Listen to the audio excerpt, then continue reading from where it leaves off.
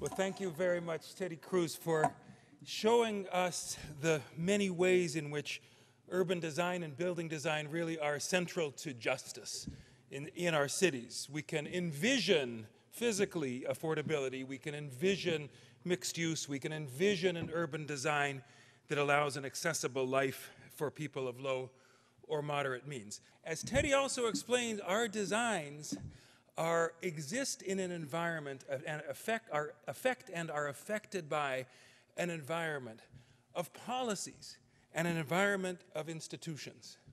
So, in many ways, what we're able to design physically in terms of our cities, the kinds of justice or injustice that we're able to design into our cities, is a function of our policies.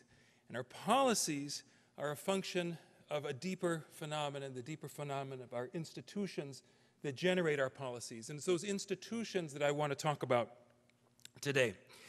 Uh, certain institutional designs, I'm going to argue, inherently work against the just city. And I'm also going to argue that the institutional designs that pervade planning in the metropolitan regions of the United States of America are some of those inherently unjust designs, institutional designs, that work against the kind of solutions that many of us would like to, would like to imagine. Uh, ultimately, significant progress is going to be on the, on the front both of physical design and on the front of institutional design. In order to explain what I mean by this, I'd like to put forward two fundamental principles. First off, when we're talking about uh, affordability, housing affordability, we're not merely talking about the affordability of the structure. We have to think about affordable living, not, not just affordable housing. Affordable living has everything to do with accessibility. Are you able to get to what you need to get to within a reasonable time and money expenditure? Uh, I'm going to bring somebody that I don't usually quote, and that's uh, Jack Kemp, the uh, now deceased former uh, uh, conservative former uh, HUD secretary under George H.W. Bush, because nobody expressed this idea of the centrality of affordable living as opposed to merely affordable housing better than he did. Uh, as a result of exclusionary, discriminatory, and unnecessary regulations. Many lower income young families cannot find housing near, and I'm emphasizing the proximity here, near their places of work. And elderly couples cannot afford to live close to their children. It's not just about the structure, it's about the structure in an environment that gives people access to the ordinary needs of an ordinary day. Uh, but now we're in a bind because if, it's, if proximity matters so much, how is it that we can arrange our cities such that we have a combination of affordability and proximity? Well, there is a solution, and it's the solution throughout the history of civilization and urbanization, and that's a solution that expensive land is rendered affordable through the intervening variable of density. In fact, this is inherent to how cities have grown.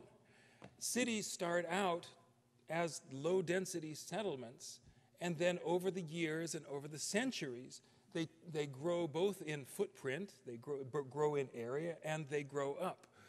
I want you, I want you to ask yourself uh, what would happen in Berlin or Philadelphia or Buenos Aires, or I could have taken any of the great cities of the world, if we had imposed upon these cities the assumption that guide the development of U.S. metropolitan areas today.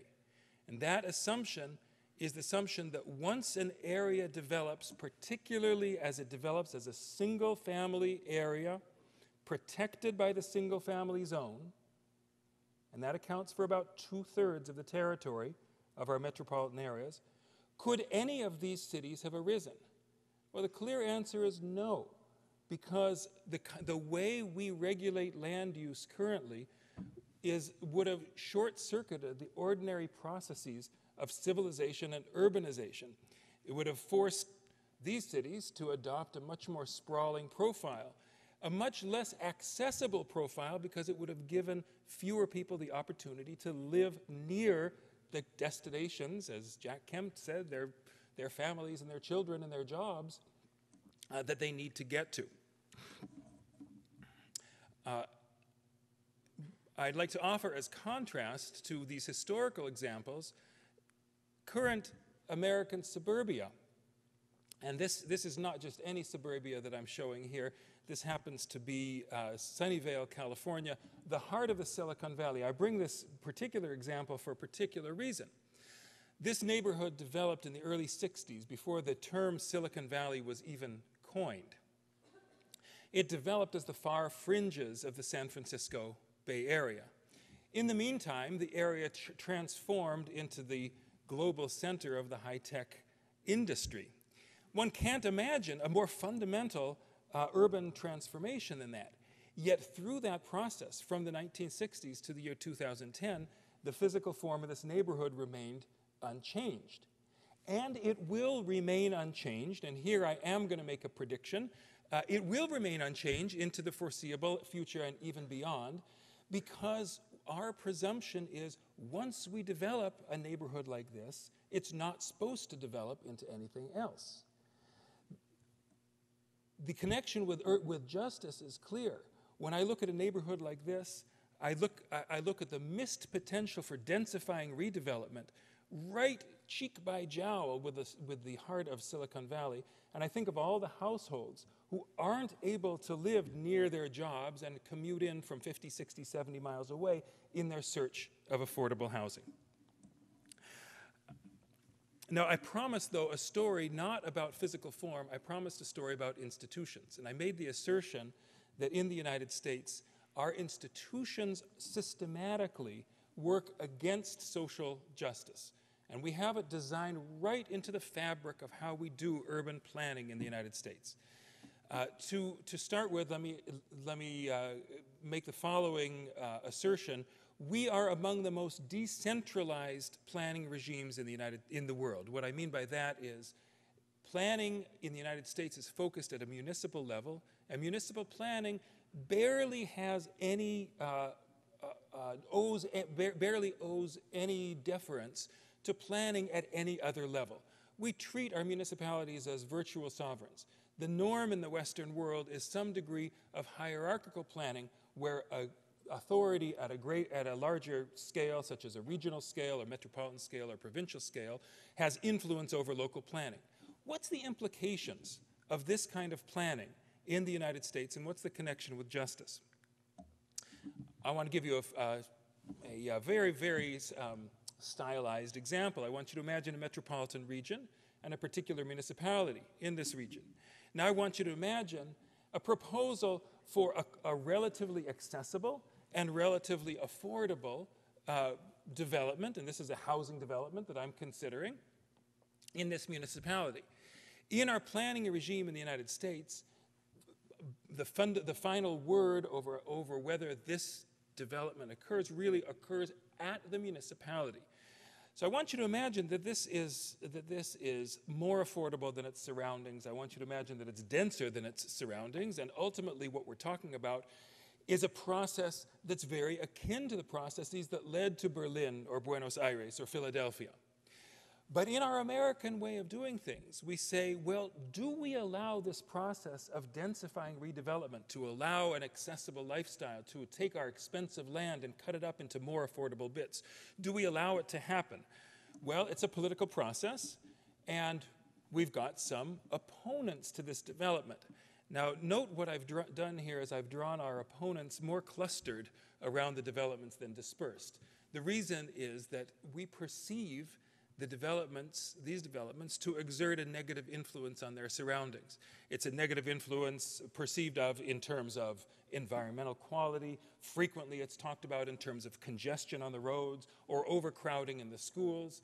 Uh, it's often talked about about the fiscal base of the, of the municipality. What's not talked about anymore, but that doesn't mean that it's absent, is the racial dimension where we're concerned about people of different races living near us in our communities. So, for all these reasons, one might expect that the, that the opponents of such a development are going to be more clustered than the proponents, who might be a little bit more scattered. Now, what I want you to ask you to do is I want you to imagine yourself as a politician. You're a politician, uh, maybe a city council member from, from this particular municipality, and you look at the opponents and you look look at the proponents. But the very simple principle of the clustering of the opponents and the scattering of the proponents of this degree, of this um, development, leads you to oppose the development. This is very, very common in American planning. We use our land use regulatory power to exclude or to zone out these kind of developments or to reduce their number or reduce their scale or reduce their density. It's built into our system when we vest the final word at the municipality. In, by contrast, I want to ima now imagine yourself as a politician, and you're a politician in a different regime. You're a politician at the metropolitan scale. And you scan the territory of opponents and proponents of a development like this. And you note that there are both. And you note that there are, that uh, well, I've drawn it as roughly equal in number. That's pretty convenient for my particular argument. But the, the scattering of the proponents probably comes from the fact that one, one might view the, the development as positive because that person is anti-sprawl, and the other might develop uh, view the uh, development as positive because that person is pro-affordable housing. Mother, another person might like it simply because they want to live there. All sorts of reasons for supporting the development. Point is, at the metropolitan scale, we can, we can conceive of coalitions that can support this kind of densifying redevelopment that give more people the opportunity to live, in a live a close-in and accessible lifestyle. We can conceive of these opportunities at the metropolitan scale, these coalitions at the metropolitan scale, that are much, much more difficult to conceive of when we're talking about at the municipal scale. So for this reason, I argue that our localist planning is inherently biased against the kind of, of progressive, uh, justice-based solutions that people in this room and, and my very distinguished fellow panelists might, might uh, propose. In an environment like that, I would say that progress depends not only on improvements in our physical design, it, it depends on improvements in our institutional design as well. These improvements can be incremental, these improvements can be more fundamental. Now, I don't know, I'm going to pick up on something that Monica uh, attributed to me correctly. I don't know what the future of urbanism is. I do have a principle, however.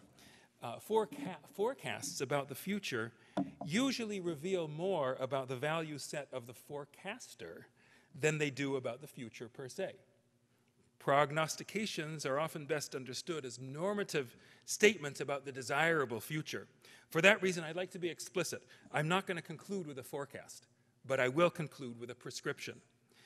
We Americans venerate the local with romantic language like government that's closest to the people. But equity in design, in physical design, is going to entail balancing that goal with institutional reform ensuring that constituencies beyond the municipal boundaries are adequately represented in planning decisions, including those pertaining to land use. Now, I don't know that this shift from the US version of extreme localism in planning to greater regionalism or regional authority will ever come about. And I also don't view it as a sufficient condition for, for greater equity.